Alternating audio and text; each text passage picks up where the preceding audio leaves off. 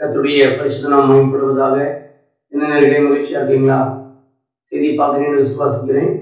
இந்த அனுதினம் அண்ணா வழியாக உங்களை பார்ப்பதிலே மகிழ்ச்சி அடைகிறேன். கத்திரமை ஆஸ்வதிக்கட்டும் இன்னைக்கு எடுத்துக்கொண்ட செய்தியின் தலைப்பு ஐஸ்வர்யத்தை கொடுக்கிற ஆண்டவர் உங்களோடு இருக்கிறார்.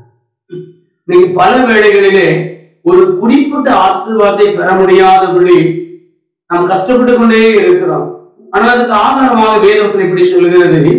ரோமன் பத்தாம் அதிகாரத்திலே பனிரெண்டாம் சொல்கிறது கத்தரை தொழுது கொள்கிறவர்களுக்கு அவர் ஐஸ்வர்ய சம்பந்தராக இருக்கிறார்.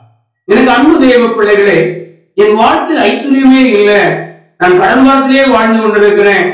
எனக்கு ஒரு ஆசீர்வாதத்தையே பார்க்க முடியல. என்று கலங்கி கொண்டிருக்கிறீங்களா? நீங்க க- தினமும் கடவுளை தேடி பாருங்கள். அவரை உண்மையிலே நீங்கள் தொழுது கொள்வீர்களானால் உங்கள் குறைவை அவர் நிறைவாக்க போகிறார். உங்கள் வறுமையை அவர் ஆசீர்வாதமாக மாற்றப் போகிறார் உங்க தரித்திரத்தை அவர் ஆசீர்வாதமாக மாற்றப் போகிறார். ஏனென்று சொன்னால் இது மனிதனுடைய சத்தம் அல்ல மனிதனுடைய வார்த்தை இல்ல அவர் திருவாய் மொழியில் சொன்ன வார்த்தை அவர் ஐஸ்வர்ய சம்பந்தராக இருக்கிறார். நீங்கள் வார்த்தையை சொல்லி செபிக்க வேண்டும். ஆண்டவரே உங்களை தொழுது கொள்கிறேன் ஐயா.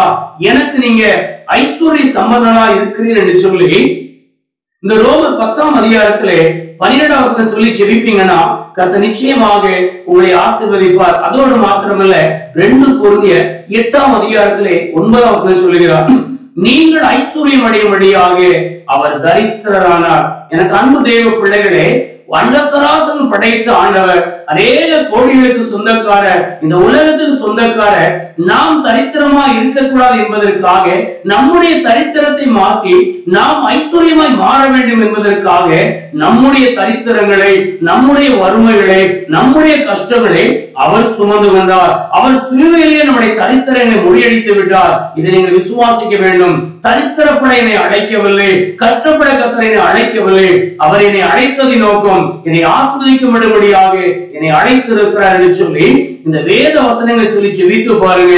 கத்த நிச்சயமாக இந்த நாளிலே உங்களுக்கு வெற்றியுள்ள வாழ்க்கை தரும் அதோடு மாத்திரமல்ல அதுக்கு ஆதாரமாக நீதிமொழிகள் எட்டாம் அதிகாரத்துல பதினெட்டுல சொல்லப்பட்டிருக்கிறது ஐஸ்வர்யமும் கனமும் நிலையான பொருளும் நீதியும் என்னிடத்தில் இருக்கிறது என்று சொல்லி கத்த சொல்லுகிறார். ஆண்டவனுக்கு ஐஸ்வர்யம் இருக்கிறதுங்க.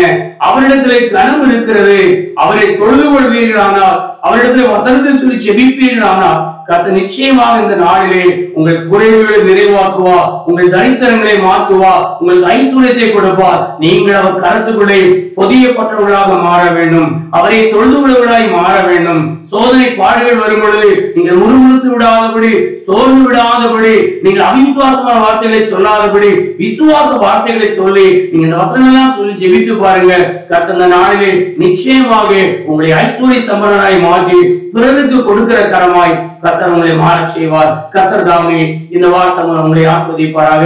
நாம் இருந்தவனமாய் தரையில் தாட்டி ஜெபம் செய்வோம். மகா இறக்கமும் கிருமை நிறைந்த நல்ல ஆண்டவரே இதை கேட்டுக்கொண்ட அன்பு பிள்ளைகளுக்காக செபிக்கிறேன் ஐயா. தரித்திரனா வாழ்க்கையா என் தரித்திரத விடுதலை கிடைக்காதா? என் சம்பத்து உயராதா? என் பொருளாதார மாற்றம் கிடைக்காதா?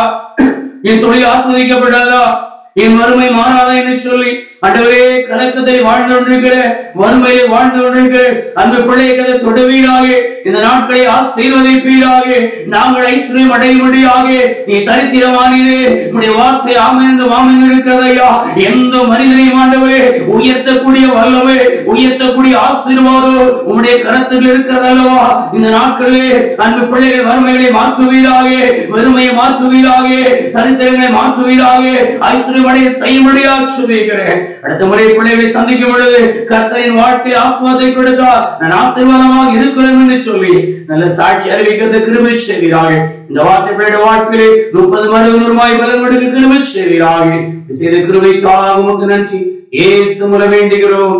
எங்கள் ஜீவன் நல்ல பிதாவே. ஆமை கர்த்ததாமே இந்த வார்த்தை மூலம் ஆசிரியப்பாராங்க ஆமை